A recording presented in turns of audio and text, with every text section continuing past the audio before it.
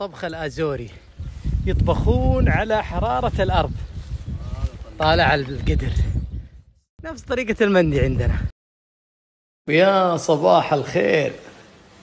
من المفترض إنه بعد قليل نغادر هذه الفاتنة الآزورية. أمس نزلت سناب أشاوركم. كاد أن يكون الرد بالإجماع مدد. وهذا الرد القاصب من والدتي أغلى البشر الله يحفظها. تقول وين تترك هالطبيعة الغناية يا وليدي؟ مدد. فخلاص قضي الأمر. حمدد إن شاء الله. ونغير تذاكر الطيران حجز السيارة والفندق ونكمل في هالطبيعة الغناء سلم. دع هذه العروسة واستبدلناها بهذه السيارة. إجراءات الأجار سهلة وهذه أشهر شركات الأزور. لكن سعر تأجير السيارات غالي بشكل عام. اعمل حسابك 500 400 ريال في اليوم. في ملحوظة مهمة إذا جيت تستأجر السيارة غير السعر حياخذ منك deposit وديعة. طلب مني 1300 يورو حول 6000 ريال. إيش السبب؟ آه إنه السيارة أنا أخذها basic insurance يعني تأمين عادي. رفعت التأمين إلى full insurance مهما صار في السيارة ما تحمل شيء. صارت الوديعة 200 يورو فقط. حد حقت إذا جبت السيارة متسخة زيادة عن اللزوم أو أنك جبتها ما هي فل بنزين يخصمون من 200 يورو. عموما إذا سلمت السيارة الوديعة حترجع في حسابك.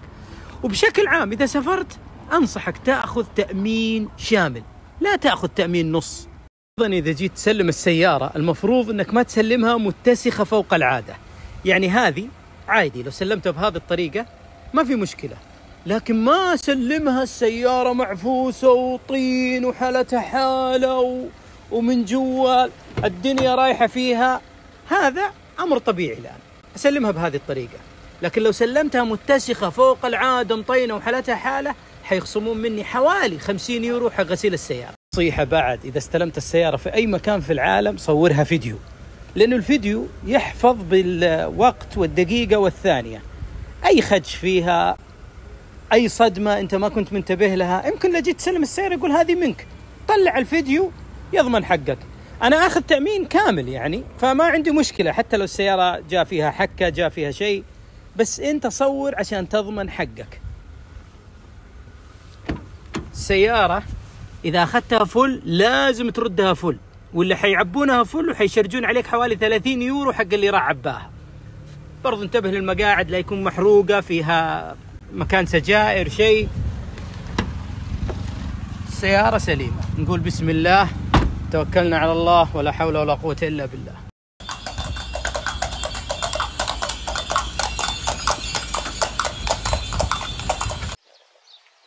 وصلنا هذا المكان الجميل بحيرة فرناس. شايفين الدخان اللي هناك؟ من عجائب الأوزور خليكم معنا ونشوفها سوا.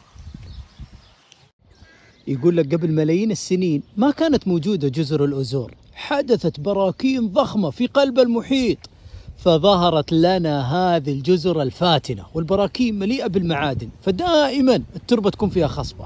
لكن هنا العجيبة لا زالت الأرض تغلي في الأوزور شوفوا هنا غليان حقيقي. هذه الظاهرة من أعجب ظواهر الكون. يعني أنتم شايفين الخضار والجو والأرض في نفس الوقت تغلي غليان حقيقي. شيء عجيب والله. ومن عجائب الطبخ الأزوري يطبخون على حرارة الأرض. طالع القدر. سبع ساعات سبع ساعات سبع ساعات. نفس طريقة المندي عندنا. طبعا هذا المطعم حاولنا نحجز اليوم قالوا اليوم فل. ما لكم إلا غدا تحجزون. فقلنا لعلها خيرة. عموما أنا سألت أبو يوسف ثامر الغالي قلت له كيف الطعم؟ قال والله أبو فهد الطعم فنان. بس هم حافرين حفر نفس فكرة حفر المندي بس يحطون اللحم بالقدر ويدفنونه بالرمل لمدة سبع ساعات. واللي بيزور المكان عندهم فتحتين. فتحة الساعة 12 12 ونص الظهر وفتحة الساعة 4 4 ونص العصر. يعني انت اذا زرت المكان هنا ما حتلقى احد المطعم على مسافة خمس دقائق بالسيارة. اعمل حسابك 12 ونص يفتحون وأربعة ونص أيضا يفتحون إذا بتصور. طبعا هو ذحين دفن الحفرة سألته ليش؟ قال عشان نحتفظ بحرارتها مثل ما هي. يا سلام يا سلام. تسمعون بأدب الرحلات؟ هذا إتيكيت الرحلات. وزارنا ضيوف على على ضفاف بحيرة فرناس في جزر الأزور. ذكرتني بالعالم المسلم عباس بن فرناس.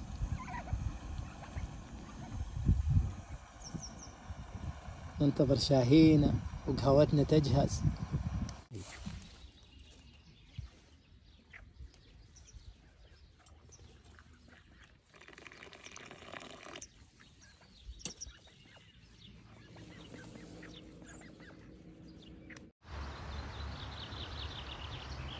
احترت وش أسميها؟ جزيرة الورد جزيرة الزهر جزيرة الطيور. وشوفوا العجب العجاب الجزيرة تدخن هذه ظاهرة طبيعية.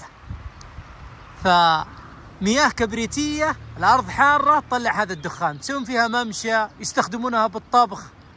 عجائب من الأوزور. خذها قاعدة في السياحة. حتى لو ما عندك معلومات ما معاه خرايط اللوحة البنية تعني مكان سياحي. فشوف هنا باين حتى رسم لك رسمة إنه البخار اللي يطلع من الأرض وهنا على البحيرة حط لك زي الموج وفوق يقول لك حديقة وجلسات ومطل وأحيانا يحط لك منظار ناظور معناته مطل. جنات وأنهار في هالجزيرة. طبيعتها عجيبة. تجمع بين الطبيعة الأوروبية سويسرا والنمسا وطبيعة الجزر.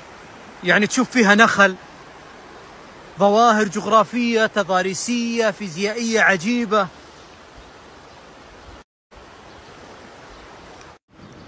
ولا زالت العجائب تتوالى في الأوزور الله الله الله الله الله, الله.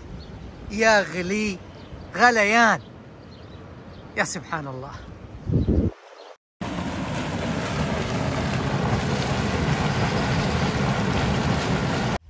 اللي يميز جزر الأوزور إنها جامعة بين الطبيعة الأوروبية وطبيعة الجزر. شوفوا هناك نخل وهنا مشهد من مشاهد سويسرا النمسا والمحيط يحيط فيها. شو العلم يا أبو تميم؟ العلم انه أخذنا يومين في الغرب حلو. ويومين في الوسط والحين في الشرق. يا سلام. متجهين لأجمل إطلالة على المحيط. مع ممشى. مع ممشى. مغامرة جديدة وهايكنج جديد لكن هذه المرة بمحاذاة النهر. على بعد 20 دقيقة شلال. الجزيرة ذي تطربك تقول وش تبي؟ أنهار شلالات زهور براكين. تلقاها عندي. اللي ما عنده لياقة لا يمشي في ال trail. إحنا الآن صعود لنا 25 دقيقة. وهذه ألف باء hiking الخطين يعني تستمر مع هذا الخط. وال X واضحة يعني هذا الخط مغلق. والله دجاج فعله الجبل إيش يسوي؟ كمل طريقنا. إلى الشلال. فإذا ما عندك لياقة انتبه. وصلنا مفترق طرق. هنا يقول لك الشلال في الأعلى كيلو 900 متر صعود. تعرفون إيش معنى كيلو 900 متر؟ يعني ساعتين ساعة ونص وانت تطلع.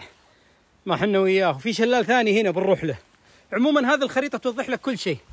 وقفنا هنا ومشينا رايحين الشلال الأول هذا اللي هنا. متعب برضه الشلال الثاني هنا. ومذاك تكمل التريل وتطلع على جانب الجزيرة الآخر. ما اللي ما عنده لياقة ما أنصح بالشلال. ما ينصح. وصلنا للشلال الأول.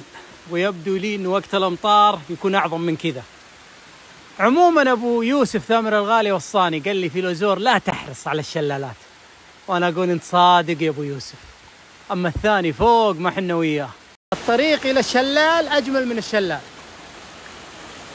يا زين منظر النخل يوم يختلط في الطبيعة الأوروبية. أي سهل يبنون فيه بلدة. والبلدة والجزيرة كلها في عمق المحيط الأطلسي. هذا يسمونه مطل المحيط الأطلسي.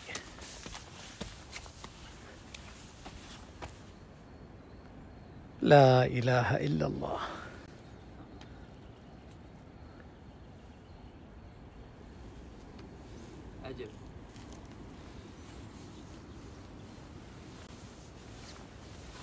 مطلات ذي مخدومة. لا تمشي ولا شيء السيارة توقف عندها.